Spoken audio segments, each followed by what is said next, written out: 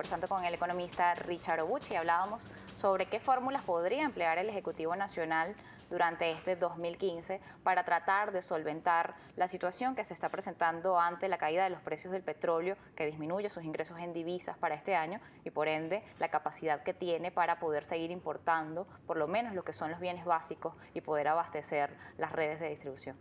Bueno, yo creo que lo primero pasa por reconocer la naturaleza del problema que se está enfrentando, que más allá de la disminución del precio del petróleo, lo cual por supuesto eh, tiene un impacto real y significativo sobre la economía venezolana, al ser nuestro principal producto de exportación, eh, pues nosotros veníamos enfrentando un problema de producción, un problema de crecimiento económico, aún antes de que se, empece, empezara a producir la disminución de los precios del petróleo ah, hace unos meses eh, en el mundo. En este sentido, eh, cuando examinamos eso, estamos viendo que hay una brutal reducción en la oferta eh, la capacidad de nuestra industria manufacturera ha disminuido, eh, sectores de, alto, de alta generación de empleos como construcción este, tuvieron un desempeño muy, muy negativo en el 2014 y que es, continuación de un proceso que ya, que ya venía ocurriendo desde hace varios meses. Y cuando nos ponemos a pensar acerca de qué es lo que estaba sucediendo, pues nos damos cuenta de que tiene que ver con un conjunto de políticas pues, que no han rendido los, los resultados que, se esperaban. En este sentido, un primer paso es dar ese reconocimiento, este, dar un, un, cambio importante en la dirección de las políticas públicas y trabajar en conjunto para generar una vez más la oportunidad de, de, inversiones. En el corto plazo, sin duda, se van a tener que tomar medidas importantes. Eh, el régimen cambiario, no solamente el asunto de cuál es el tipo de cambio, sino la complejidad y la forma en que se están asignando las divisas, pues es algo que, que sencillamente es difícil de imaginar que pueda continuar eh, porque ya ah, ha fallado en generar un equilibrio en el balance externo del país. Ahora, este tema, el tema cambiario, era uno de los principales eh, argumentos que se han generado desde el lado de la oposición y desde el lado de los académicos, porque señalan que esto habría incentivado eh, la no producción en el país y que era más fácil importarlo todo. Ahora, ¿cómo incentivar a la producción nacional si las divisas son escasas para incluso las materias primas? Bueno, tenemos que generar un ambiente en el cual se cree una nueva capacidad productiva, lo cual pasa por procesos de intensa inversión. Ahora, la pregunta es, ¿cómo haces tú para que haya mucha gente dispuesta a invertir en Venezuela? Bueno, el primer paso es corregir estos problemas de distorsiones que existen en el sistema. Eh, eh, eh, cambiar el tipo de políticas que han generado mayores distorsiones y mayores dificultades, como toda esta lógica de intervención directa en las actividades económicas y dar un paso adelante en la construcción de confianza.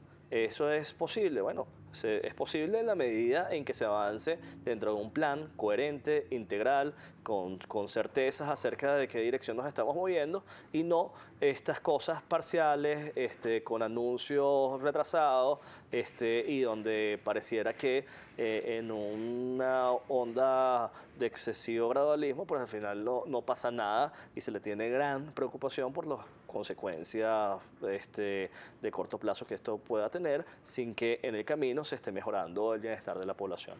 Además del sistema cambiario y el sistema de formación de precios, ¿qué otra política pública debería reformar el Estado en el corto plazo para poder comenzar a generar esta confianza y resolver el problema a su juicio? Yo creo que, que, como, como, como un hogar que está pasando dificultades financieras, una primera tarea es establecer prioridades muy claras en donde eh, es indispensable mantener la inversión y cuáles son las cosas verdaderamente más importantes. No solamente en términos de proteger a la población, más vulnerables, a los venezolanos que cuentan con menores ingresos y con menor capacidad económica para enfrentar las dificultades que se van a experimentar este año, sino también en términos, de, por ejemplo, de servicios de educación, de servicios de salud y también en términos de calidad de vida general, es decir, que, que de, de, los problemas de, seguridad y, y asuntos sociales. Yo creo que eso es una primera cosa. Y lo segundo es desde el punto de vista de cuáles gastos y cuáles inversiones verdaderamente nos pueden generar eh, una mayor utilidad en un momento en que se requiere mucha austeridad. Ahora, eso para que esos, eh, para que esos sacrificios este, tengan sentido y generen un impacto positivo, es sin duda indispensable que se hagan en el marco de un plan con, la, eh, eh, con base en la cooperación y con base en la restitución de equilibrios fundamentales de la economía, en los cuales ahorita están eh, profundamente debilitados. ¿Qué mecanismo tendría el Ejecutivo Nacional para proteger a esta población y a estas clases menos favorecidas? ¿Un aumento en los subsidios por la vía de los bolívares?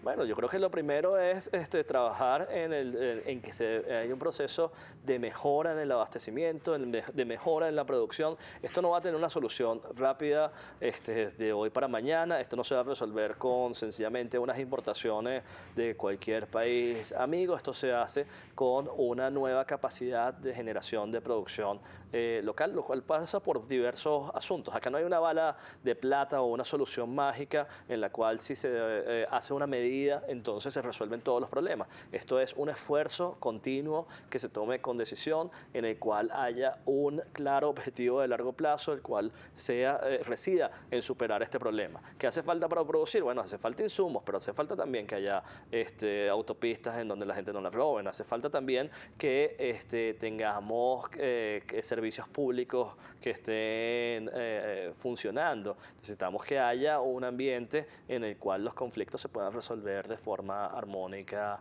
y, y, justa.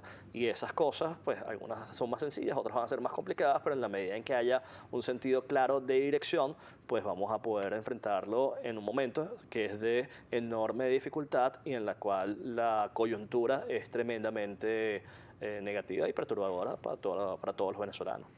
Además está el eje central de, uno de estos problemas y es el tema cambiario. El presidente de la República y su tren ejecutivo se fueron de gira y anunciaron que cuando vuelvan van a dar los detalles sobre cuáles son las reformas. Pareciese existir dentro del oficialismo la, idea eh, generalizada de que debe hacerse una modificación en el esquema cambiario, en el modelo económico que tiene el país. Algunos hablan de un cambio dual, otros hablan de la unificación. ¿Es posible llegar a esto? ¿Cuál sería la mejor opción en el escenario que tenemos actualmente que no parece ser el más óptimo? Bueno, de nuevo, yo creo que lo más, lo, ideal es que no solamente se estuviera hablando de una evaluación, sino de una, de cómo va a ser el régimen cambiario y no solamente hablar del régimen cambiario, sino eh, cómo esto se inserta dentro de un plan global.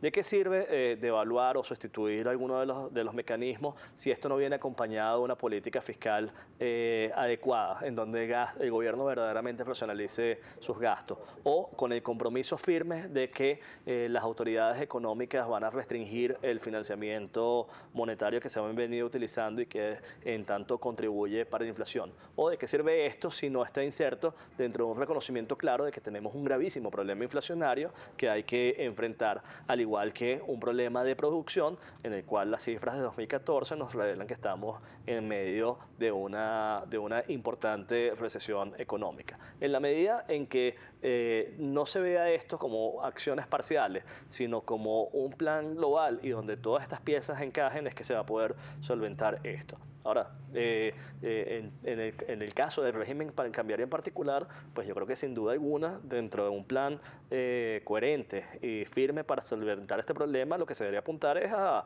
la eliminación progresiva de este tipo de controles y, por supuesto, a ir unificando los tipos de cambios y abandonar este que sin duda alguna es el régimen cambiario más complejo que existe en la región y posiblemente en el mundo. Cuando habla de la simplificación, que también lo dijo anteriormente, de simplificar la forma en el acceso a las divisas, además de lo complejo que puede ser el esquema cambiario actual con tres tasas vigentes y lo difícil que puede ser para las estructuras de costo de los productores. Eh, en el tema de simplificación, ¿qué cree usted que es necesario? Bueno, yo creo que... En el acceso. Por supuesto, el compromiso primero de ir hacia un, eh, un sistema de asignación eficiente, el cual eh, no, no, no, puede estar basado en esta lógica administrativa en la cual un organismo público sencillamente decide cuáles son las necesidades de divisa de cada empresa, de cada particular, de cada institución, para cada tornillo, en qué cantidad y eso. Eso no ha funcionado y los resultados son elocuentes en este sentido. Esto, a medida, se, se instalaron estos problemas y empezaron a haber problemas con las importaciones y una dependencia excesiva de este tipo de cosas. O sea que yo creo que, que el primer paso y el más importante sería ir hacia un, eh, un régimen cambiario con una arquitectura, con un diseño completamente diferente a este, el cual no está basado en la lógica de la intervención directa, sino más bien una asignación eh, eficiente. Y por supuesto, la, eh, ir comunicando y acordando y discutiendo acerca de cómo se pueden ir eliminando estos tipos de cambios. Esto posiblemente, por supuesto, en las circunstancias actuales implicaría este, una devaluación, lo cual yo creo que va a ser algo que implícita o explícitamente el gobierno va a ejecutar en los próximos días o semanas. Muchísimas gracias por habernos acompañado.